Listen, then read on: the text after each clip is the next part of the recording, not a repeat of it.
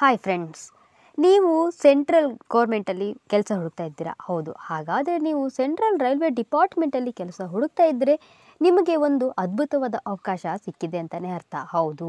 Central government central railway ಡಿಪಾರ್ಟ್ಮೆಂಟಲ್ಲಿ ಆರುನೂರ ಇಪ್ಪತ್ತೆರಡು ಅಸಿಸ್ಟೆಂಟ್ ಮತ್ತು ಕ್ಲರ್ಕ್ ಹುದ್ದೆಗಳನ್ನು ಕರೆದಿದ್ದಾರೆ. ಇದಕ್ಕೆ ತಕ್ಕಂತಹ ವಿದ್ಯಾರ್ಥಿಯನ್ನು ನೀವು ಹೊಂದಿರಬೇಕಾಗುತ್ತದೆ ಮತ್ತು ಕನಿಷ್ಠ ನಮಗೆ ಹದಿನೆಂಟು ವರ್ಷ ವಯಸ್ಸು ಆಗಿರಲೇಬೇಕು. ಹದಿನೆಂಟು ವರ್ಷ ವಯಸ್ಸಾದವರು ಈ ಒಂದು ಹುದ್ದೆಗೆ ಅಪ್ಲೈ ಮಾಡಬಹುದಾಗಿದೆ. ಇದಕ್ಕೆ ಯಾವುದೇ ರೀತಿಯ ಅರ್ಜಿ ಶುಲ್ಕ ಇರುವುದಿಲ್ಲ. ಆಯ್ಕೆಯಾದ ಅಭ್ಯರ್ಥಿಗಳಿಗೆ ಮಾಸಿಕ ವೇತನ ಅನ್ನೋದು ಬರ್ತಾ ಇರುತ್ತದೆ. ಮತ್ತು ಇದಲ್ಲದೆ ಈ ಹುದ್ದೆಗಳಿಗೆ ಆಯ್ಕೆಯಾದ ಅಭ್ಯರ್ಥಿಗಳಿಗೆ ಸಂದರ್ಶನದ ಮೂಲಕ ಆಯ್ಕೆ ಮಾಡಲಾಗುವುದು. ಹೌದು, ನಿಮಗೆ ಇಲ್ಲಿ ಯಾವುದೇ ರೀತಿಯ ಪರೀಕ್ಷೆಗಳು ಇರುವುದಿಲ್ಲ. ನಿಮಗೆ ಸಂದರ್ಶನದ ಮೂಲಕ ನಿಮ್ಮ ಆಯ್ಕೆಯನ್ನು ಮಾಡಲಾಗುತ್ತದೆ. ಹಾಗೂ ಈ ಒಂದು ಹುದ್ದೆಗೆ ನೀವು ಪೋಸ್ಟ್ ಮೂಲಕ ಅರ್ಜಿ ಸಲ್ಲಿಸಬಹುದಾಗಿದೆ.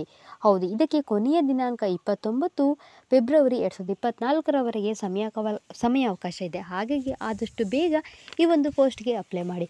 ಹಾಗೂ ಹೆಚ್ಚಿನ ಮಾಹಿತಿಗಾಗಿ ನಮ್ಮ ಯೂಟ್ಯೂಬ್ ಚಾನಲ್ನ ಸಬ್ಸ್ಕ್ರೈಬ್ ಮಾಡಿ. Finally thanks for watching friends